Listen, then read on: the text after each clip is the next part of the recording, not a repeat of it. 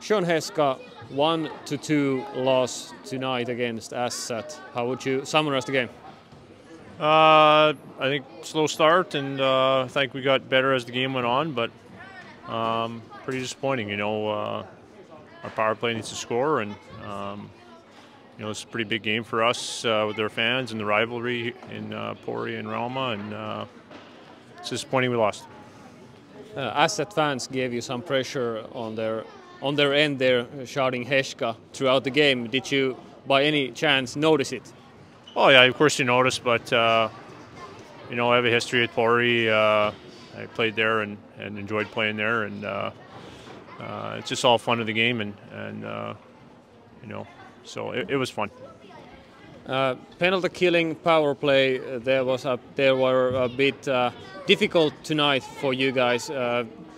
You, did you talk about it after the game? What were what was the issue there?